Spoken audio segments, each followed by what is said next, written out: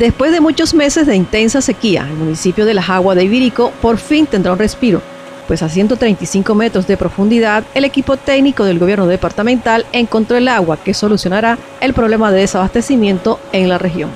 Los estudios iniciales dan cuenta de un caudal de agua de 10 litros por segundo y aunque no se ha hecho un estudio inicial sobre la calidad del agua, se espera que pueda abastecer el acueducto municipal durante la temporada seca, para que la comunidad pueda desarrollar sus principales actividades. Posteriormente de las aguas pasaremos inmediatamente al municipio de Río de Oro donde tenemos otro requerimiento. En Río de Oro lo vamos a hacer también en el acueducto del municipio